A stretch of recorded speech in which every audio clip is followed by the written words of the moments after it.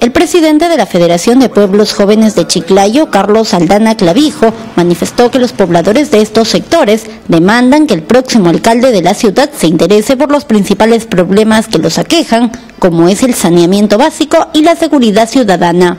Bueno, primero que se conozca, ¿no?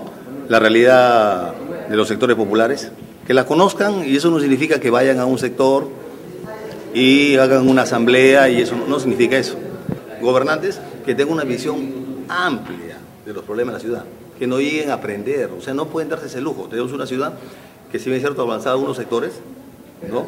En los sectores populares está intacto los problemas de la vez pasada. Indicó que pese a que estos sectores son los que mayor electorado tienen, no se dejarán engañar fácilmente por los candidatos, a quienes están exigiendo propuestas y soluciones concretas a la problemática que presentan. Pero que su voto, dentro de esta vitrina que van a poner ahí de candidatos, que observen al mejor, no al que da más, sino que el que consideren el más inteligente, el que se haya identificado mucho antes ya con la población, no en este momento. Entonces, es cierto, el bolsón electoral está en los pueblos jóvenes, pero al caso no ellos apetitosos, 7.000 familias que hay en los 12 pueblos jóvenes en la carretera Chiclayo y Pomalga, que siguen esperando del año 2003 que se les haga las obras. Ellos saben eso. Lo que queremos que realmente se haga, que no se utilice esa ilusión para que se genere votos. Detalló que según la evaluación que vienen realizando los pobladores, aún existe el candidato que colme sus expectativas. Bueno, hay unos que deberíamos ni mencionarlos.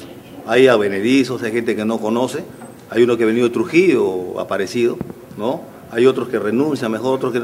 No, hay de todo, ¿no? Hay candidatos folclóricos y hay otros que merecen nuestro respeto. Denunció que el alcalde de Chiclayo, Roberto Torres, utilizaría los comités pro obras que se conforman en cada pueblo joven como bases de su campaña a la reelección. Bueno, él tiene, se va rumbo al tercer periodo, ¿no?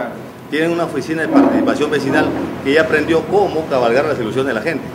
Ellos saben que formando comités de obras, luego puedo o comités de gestión, luego convertirlos en comités pro campaña.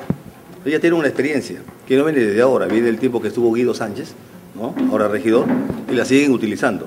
Cabe indicar que en Chiclayo existen cerca de 300 pueblos jóvenes.